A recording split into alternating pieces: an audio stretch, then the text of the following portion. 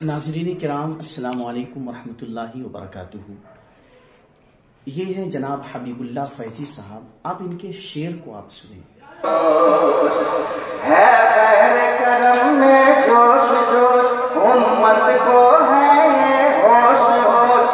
वो सबकी खता पोश वो सबकी सबसे पहले मैं बारे में बताऊँ कि शायर हैं, जिनका नाम हबीबुल्ला फैजी है। और ये अहल सुन्नत वल जमात के एक मशहूर व मारूफ शायर की हैसियत रखते हैं। और इन्होंने ना जाने कितने बड़े बड़े स्टेजों पर अपनी नातखानी का लोहा मनवाया है, अपनी शायरी का लोहा मनवाया है, और कई इनामी मुकाबलात में भी इन्होंने हिस्सा लिया है। और ये काफ़ी मशहूर शायर हैं। जिन्हें पूरी, पूरा हिंदुस्तान तो कम से कम जानता ही है, अहल सुन्नत वल जमात में।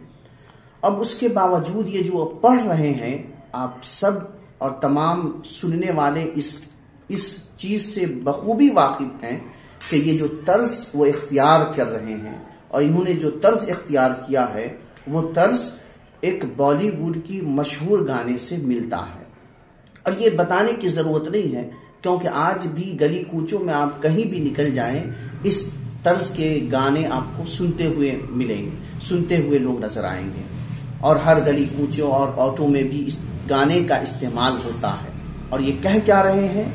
है बहरे करम में जोश जोश, उम्मत को है ये होश होश, वो आका सबकी खता पोश पोश, गैब ही गैब उनके दस्त दस्त, वो आला मैं हूँ पस्त पस्त यकीनन आपको भी सुनने के बाद ये शेर, ये पता चल गया होगा कि ये जो शेर है और इसका जो तर्ज है, ये तर्ज एक बॉलीवुड के मशहूर गाने के तर्ज पर है।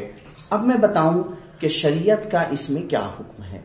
शरीयत का हुक्म ऐसे गानों के बारे में, ऐसे लहजे के बारे में कि जो इंसान की शहवत को उभारे, इंसान को शहवत में मस्त कर दे इस तरह के गानों के तर्ज पर नाते नबी गुनगुनाना, कुरान की तिलावत करना, ये बिल्कुल गलत है और ये नाजायज है। हबीबुल्ला फैजी साहब, इनसे पहले भी मैंने इनके ताल्लुक से ये बातें सुनी थी, लेकिन मुझे उस वक्त ये यकीन नहीं हुआ और मुझे बिल्कुल कंफर्मेशन नहीं हो पाया, लेकिन इनकी यह यह नई नात और इनका ये जो नया अंदाज है और इसको सुनने के बाद मुझे यकीनन ये महसूस हो गया और मालूम हो गया कि इन्होंने यकीनन एक बॉलीवुड के गाने का तर्ज इख्तियार किया और उस पर इन्होंने नाते नबी सल्लल्लाहु अलैहि वसल्लम का को उस तर्ज पर पढ़ा, ये यकीनन हमें बर्दाश्त नहीं। और कोई भी अहल सुन्नत वल जमात का जानने वाला, मानने वाला इस चीज़ को बर्दाश्त नहीं कर सकता। यकीनन इससे बचें और इससे हम परहेज करें और ऐसे शोरा और ऐसे नातखानों से भी हम दूरी बना करके रखें।